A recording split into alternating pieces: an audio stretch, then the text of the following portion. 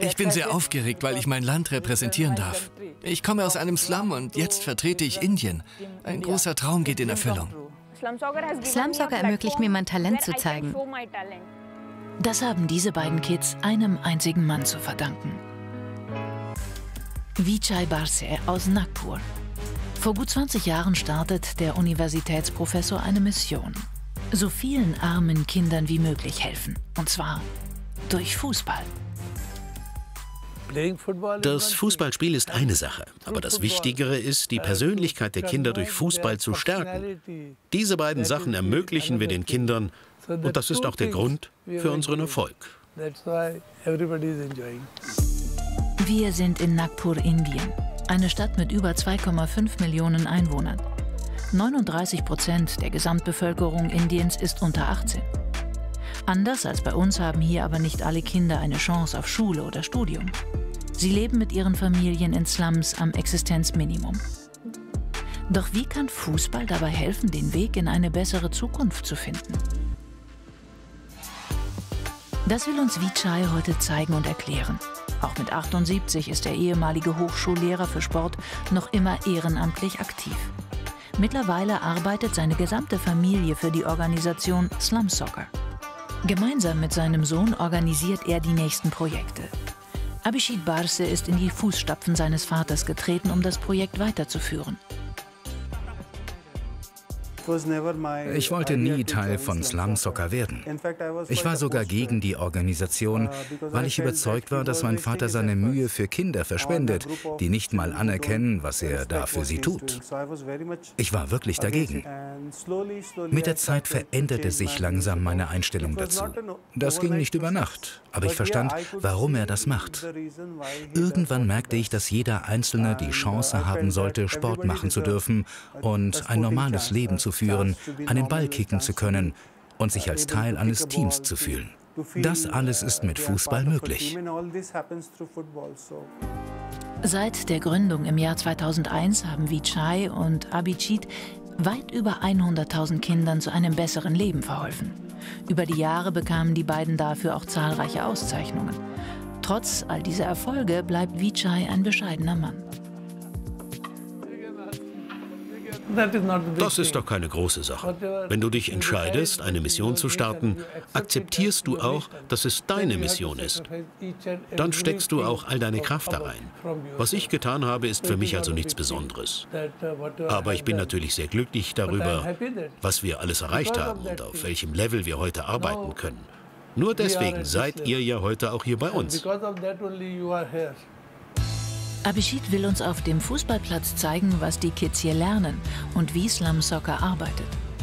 Dem 44-Jährigen und seinen ehrenamtlichen Mitarbeitern geht es nicht darum, den Fußball im Land weiterzuentwickeln, sondern jedes einzelne Kind durch den Fußball voranzubringen.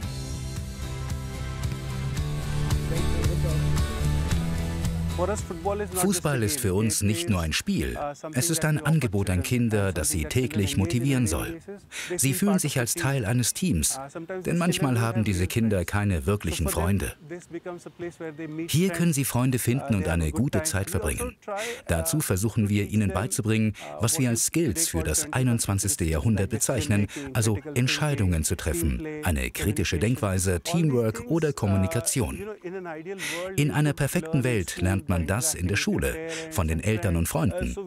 Wir stellen hier sicher, dass die Kinder eine Chance haben, das alles durch das Spiel zu lernen. Aber nicht nur das, die Kinder lernen hier auch wichtige gesellschaftliche Aspekte wie Gleichberechtigung von Mann und Frau oder Inklusion. Fußball schweißt die Kids zusammen. Auf dem Platz gibt es keine Diskriminierung aufgrund von Hautfarbe oder Religion. Und genau darauf baut Slum Soccer. Denn in Indien spielen Geschlechterklischees noch immer eine große Rolle.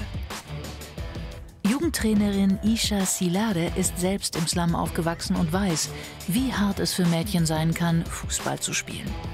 Ohne Slum-Soccer sähe ihr Leben wohl anders aus. Ich liebe es, wie man hier Kindern Sachen beibringt, wie man sie auf das Leben vorbereitet und ihr Selbstbewusstsein stärkt. Das alles funktioniert nur durch Teamwork beim Fußball. Wo ich aufgewachsen bin, gab es viele Verbote für mich. Ich durfte keine kurzen Hosen tragen oder mit Jungs spielen und nach 18 Uhr durfte ich das Haus nicht mehr verlassen. Es gab einige Herausforderungen in meiner Kindheit. Nur wegen Slum Soccer und der Unterstützung hier bin ich heute, wer ich bin. Zusätzlich erhalten alle Kinder kostenlosen Schulunterricht samt Schulabschluss. Die Grundvoraussetzung für ein darauffolgendes Studium. So bekommen auch die Kinder aus den Slums eine realistische Chance auf einen Hochschulabschluss und einen gut bezahlten Job.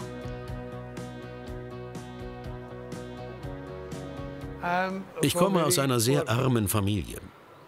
Ich weiß genau, wie sehr ein Kind leiden muss, wenn es in einem Slum aufwächst.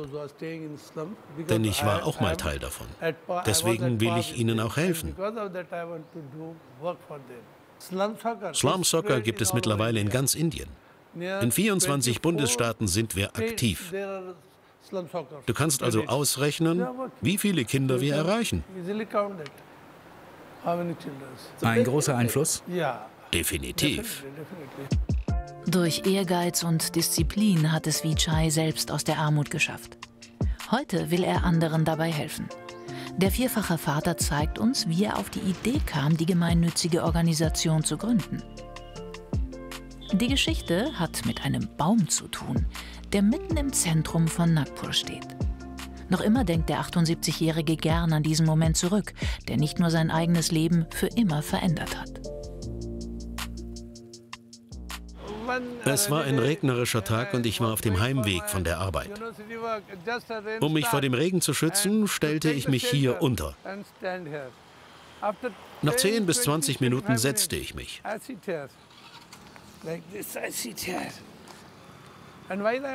Dann habe ich etwas hinter mir gehört. Da drüben ist nämlich ein Slum und die Jungs dort haben gespielt. Mit einem kaputten Plastikeimer, den sie als Fußball benutzten. Den kickten sie rum und hatten dabei riesigen Spaß. Vichai wird in diesem Moment klar, dass die Kinder durch Fußball von schlechten Gewohnheiten und negativen Einflüssen abgelenkt werden. Gleichzeitig ist Sport gerade für Kinder sehr wichtig. Sowohl die körperliche als auch geistige Gesundheit profitieren nachweislich von Sport. Allerdings findet Vichai zu Beginn kaum Unterstützung. Durch seine Arbeit als Hochschulprofessor schafft er es, alle Ausgaben aus eigener Tasche zu finanzieren. Das waren sehr komplizierte Tage. Die Kinder glaubten immer an uns, aber sonst niemand. Die anderen dachten, ich mache das nur, um Aufmerksamkeit zu bekommen oder daraus Profit zu schlagen. Ich scherte mich nie um deren Meinung, denn ich hatte mir ein Ziel gesetzt und das wollte ich erreichen. Ich wollte helfen und konzentrierte mich darauf. Einfach die eigene Arbeit erledigen.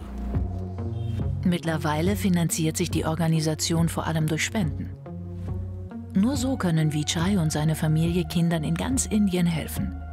Die Träume der Nachwuchskicker gehen alle in die gleiche Richtung. Ich will Profifußballer werden. Vor Slumsoccer habe ich nie Fußball gespielt, aber jetzt will ich Profi werden. Ich wäre gern der nächste Cristiano Ronaldo.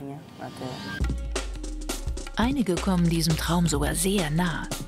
Denn jedes Jahr fliegen acht Jungs und acht Mädchen zum Homeless World Cup. Eine internationale Weltmeisterschaft für Obdachlose oder arme Kinder und Heranwachsende.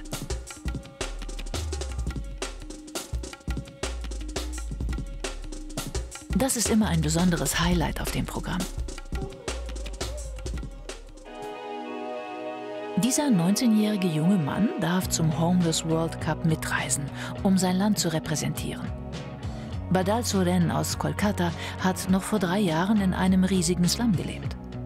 Heute trainiert er selbst Kids aus den Slums und arbeitet für die NGO.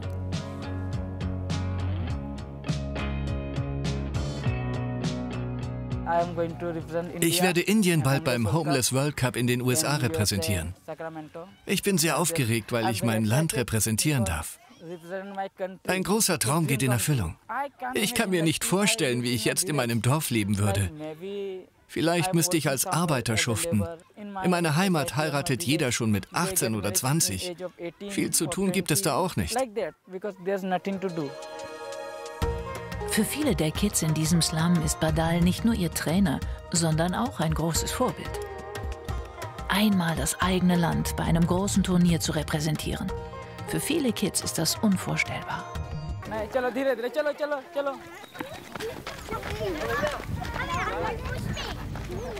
Slum Soccer wird mittlerweile sogar vom Fußballweltverband FIFA gefördert und unterstützt.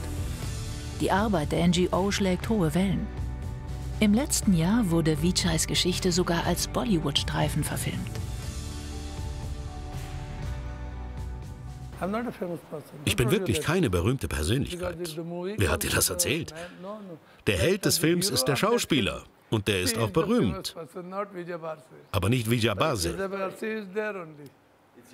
Ich bin und bleibe am Boden der Tatsachen. Vijay Barse ist nicht irgendwo hier oben. Ich bin genau da, wo die Kinder auch sind. Nur wenn ich mich mit ihnen verbunden fühle und weiß, woher sie kommen, kann ich gute Arbeit leisten.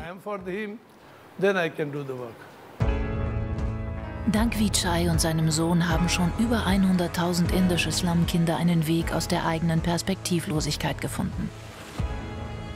Slumsoccer holt Kids nicht nur von der Straße. Sie lernen auch wichtige Skills, um in der Zukunft ihr eigenes Glück zu finden.